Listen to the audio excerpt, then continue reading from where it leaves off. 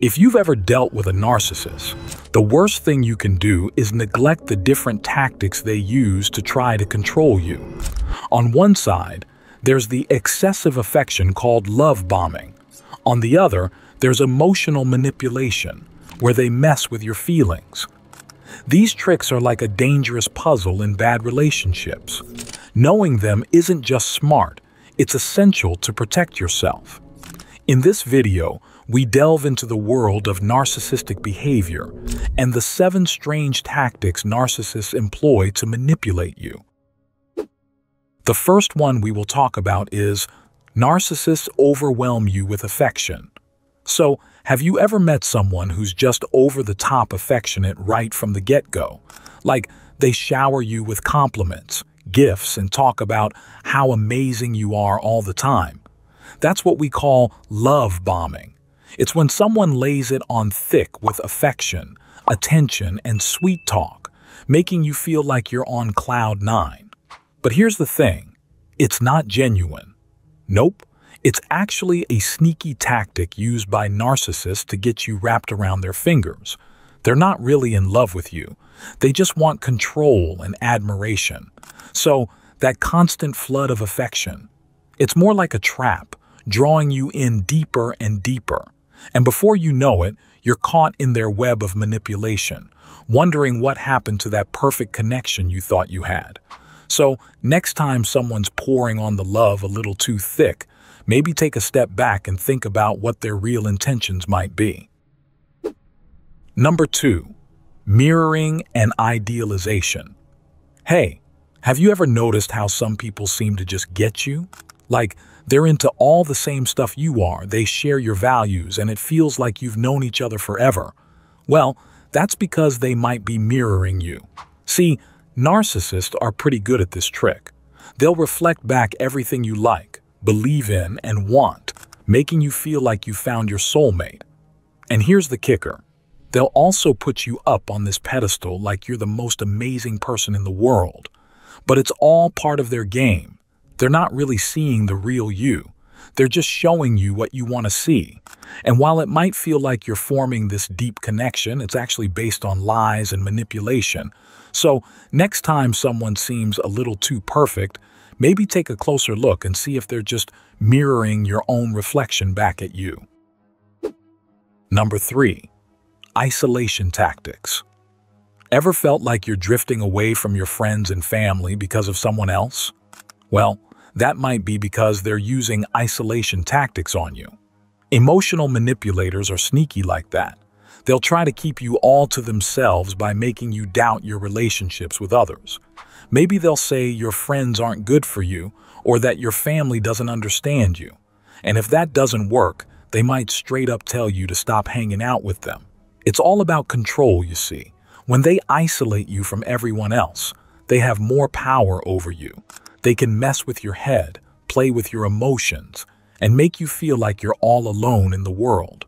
So, if you ever find yourself feeling cut off from the people who care about you, maybe it's time to take a step back and see if someone's been pulling the strings behind the scenes. Number 4. Blaming you for everything. Ever been in a situation where it feels like everything is your fault, even when it's not? Well, that might be because someone is blaming you for everything. Emotional manipulators are pros at this. They'll twist things around to make you think that every little problem is because of something you did or didn't do. It's like they're playing mind games with you, making you doubt yourself and your worth. They'll use sneaky tricks like gaslighting to mess with your head, making you question what's real and what's not. And before you know it, you're stuck in this never-ending cycle of self-doubt and guilt. It's like you're walking on eggshells, afraid to do anything wrong. But here's the thing. It's not your fault. You're not to blame for everything that goes wrong. So, if someone's constantly pointing the finger at you, maybe it's time to take a step back and see the situation for what it really is. Number 5. Creating dependency. Ever felt like you can't make a move without someone's approval?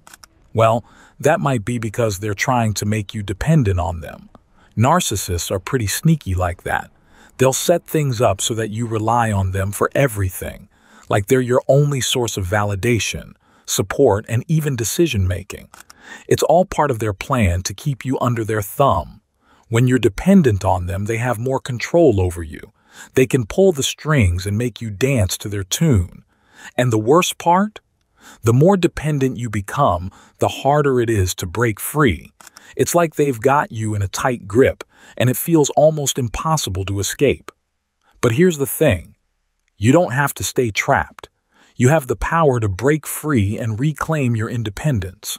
So, if someone's trying to make you rely on them for everything, maybe it's time to take a step back and reassess the situation.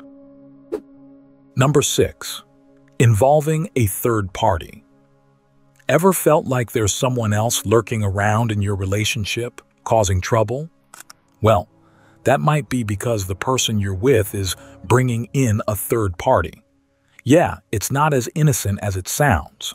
Narcissists do this on purpose. They'll flirt with others, make comparisons between you and someone else, or even cheat on you. It's all part of their plan to mess with your head. See, by bringing someone else into the picture, they're trying to make you jealous and insecure. It's like they want you to feel like you're not good enough, like you're constantly competing for their attention. And the worst part? It keeps you emotionally off balance, as if you're never really sure where you stand. But here's the thing. You don't have to play their game. You have the power to set boundaries and demand respect in your relationship. So, if someone's constantly bringing in a third party, maybe it's time to reassess whether they're really worth your time and energy. Number 7. Discard and pull you back. Finally, when the narcissist feels they no longer need you, they discard you callously, leaving you devastated and confused. Ever been in a relationship where one minute everything's great and the next, it's like you never existed? That's what happens when you're dealing with a narcissist. When they're done with you, they'll just toss you aside like you're nothing, leaving you feeling heartbroken and lost. But here's the kicker. They're not really done with you. Nope. They'll come crawling back trying to suck you back into their toxic world. They'll say all the right things, promise to change, apologize for everything they did wrong, maybe even shower you with gifts. But don't be fooled. It's all just a ploy to keep you hooked. See, they thrive on this cycle of discarding and hoovering. It's like a sick game to them, keeping you trapped in their web of manipulation. But here's the thing. You have the power to break free. You don't have to keep playing their game. So if someone's constantly discarding you and then trying to pull you back in, maybe it's time to cut ties for good and find someone who truly values you. When it comes to dealing with narcissistic relationships, being aware is critical. Knowing the signs of love bombing and emotional manipulation gives you the power to break free from toxic patterns and take back control of your life. True love is about respect, trust, and understanding, not about someone trying to control you. So, if you find yourself in a situation where you feel like you're being manipulated, remember that you deserve better.